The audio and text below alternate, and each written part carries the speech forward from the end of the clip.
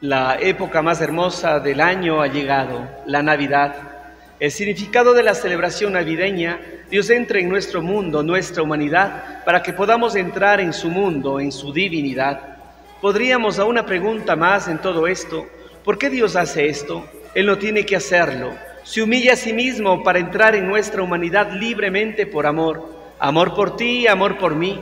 Los invito a todos a reflexionar sobre este misterio del amor ilimitado de Dios durante esta temporada navideña. Tomémonos el tiempo para reflexionar sobre la tranquila serenidad de la escena del pesebre. José y María en adoración del recién nacido Jesús. Esta escena nos habla profundamente de la presencia silenciosa de Dios, pero profunda presencia en el mundo y si le permitimos entrar en nuestra vida.